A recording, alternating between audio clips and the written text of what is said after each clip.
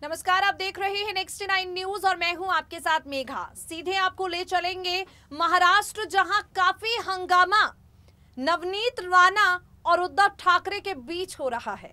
आप सब जानते हैं किस तरह से निर्दलीय सांसद नवनीत राणा ने हनुमान चालीसा के मुद्दे पर महाराष्ट्र के मुख्यमंत्री उद्धव ठाकरे का रुख देखते हुए उन्हें ललकारा और साफ़ तौर पर कहा, अब आपके घर के सामने बैठकर मैं अपने कार्यकर्ताओं के साथ, अपने पति के साथ हनुमान चालीसा का पाठ पढ़ूँगी। जस जिस दिन नवनीत राणा ने यह ऐलान किया, उद्धव ठाकरे को ललकारा, उसके बाद से ही उन्हें शिव सैनिकों द्वारा कई तरह की धमकियाँ मिलने लगी। धमकियाँ ये तक कह रही थी कि नवनीत राणा मुंबई आकर देखें, अपने पैरों पर वापस नहीं जा पाएँगी। जब नवनीत राणा को लेकर माहौल इतना गंभीर बना, अब केंद्र की तरफ़ से इस मामले पर एक बड़ा कदम उठाया गया है। नवनीत राणा को अमित शाह ने सुरक्षा देने का ऐलान किया है।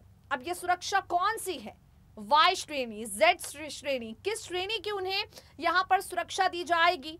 किन मुद्दों पर नवनीत राणा पर यह खतरा मंडराया है? आपको बता दें कि ये वही नवनीत राणा है जो संसद में पीएम मोदी की तारीफों का गुणगान कई बार कर चुकी हैं।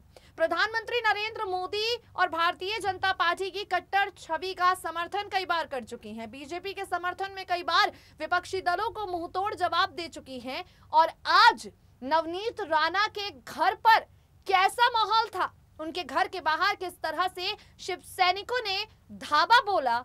कैसे बात जो है पुलिस के हाथ से निकलती जा रही थी? क्या कुछ आज का माहौल था? चलिए अपनी बेहद खास रिपोर्ट के ज़रिए आपको दिखाते हैं और इसके साथ ही नवनीत राणा को अमित शाह ने कौन सी सिक्योरिटी दी है? कौन से यहाँ पर अब सैनिक जो है सीआरपीएफ के जवान कह लीजिए, कमांडो कह दीजिए, जो नवनीत राणा की सुरक्षा में अब चौबीसों घंटे तैनात रहेंगे। सारी जानकारियाँ आपको मिलेंगी हमारी रिपोर्ट में। देखिए जरा। महाराष्ट्र के अमरावती से निर्दलीय महिला सांसद नवनीत राणा को केंद्रीय गृह मंत्रालय ने वाई श्रेणी की सुरक्षा दी है। आपको बता दें, पिछले कुछ दिनों से नवनीत राणा की सुरक्षा को लेकर कई महत्वपूर्ण खुफिया अलर्ट मिल रहे थे। बताया जा रहा है कि केंद्रीय खुफिया एजेंसी आईबी ने नवनीत की सुरक्षा को लेकर गृह मंत्रालय को सूचना दी, जिसके बाद यहाँ पर अमित शाह की तरफ़ से ये बड़ा फैसला लिया गया है। आईबी के भेजे गए इनपुट्स के आधार पर वाई श्रेणी की सुरक्षा नवनीत राणा को दी गई है। नवनीत राणा की सुरक्षा में जवानों की तैनाती कर दी गई है। रामनवमी के मौके पर नवनीत राणा ने अपने संसदीय इलाके में हनुमान चालीसा का पाठ करवाया था। और इसके बाद कहा था कि वो महाराष्ट्र के मुख्यमंत्री उद्धव ठाकरे के मुंबई स्थित निजी आवास मातोश्री के बाहर 23 अप्रैल को हनुमान चालीसा का पाठ करेंगे। नवनीत राणा के इस ऐलान के बाद शिव सैनिक राणा के खिलाफ बेहद आक्रामक हो गए। सूत्रों के मुताबिक शिवसेना के कार्यकर्ताओं ने कहा कि वो राणा को मुंबई पहुँचने ही नहीं देंगे। उन्हें कई तरह की खुली धमकियाँ दी जा रही थी। इन सब मामले को ध्यान में रखते हुए आईबी की टीम ने तमाम इनपुट्स इकट्ठा कर गृह मंत्रालय भेजे। आपको बता दें, ये सुरक्षा का तीसरा स्तर होता है। कम खतरे वाले लोगों को ये सुरक्षा दी जाती है।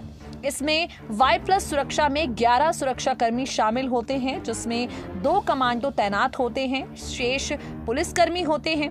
वाई सुरक्षा कैटेगरी में चार से आठ सुरक्षा कर्मी एक दो कमांडो के साथ मिलते हैं, जिसे नवनीत राणा को दिया गया है। आपको बता दें, नवनीत राणा के घर के बाहर खूब बवाल हुआ, जिसका एक्सक्लूसिव वीडियो चलिए हम आपको दिखाते हैं।